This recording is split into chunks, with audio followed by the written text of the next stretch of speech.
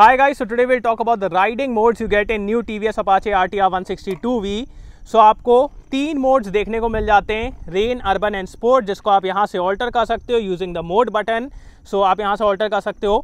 तीनों ही मोड्स में आपकी पावर भी ऑल्टर होती है और एबीएस भी ऑल्टर होता है। So in rain and urban mode this engine produces 13.32 PS and 12.7 NM का torque in sport mode this engine produces 16.04 PS and 13.85 NM का टॉक तो पावर तो ऑल्टर हो ही रही है, उसी के साथ साथ एबीएस भी ऑल्टर होता है।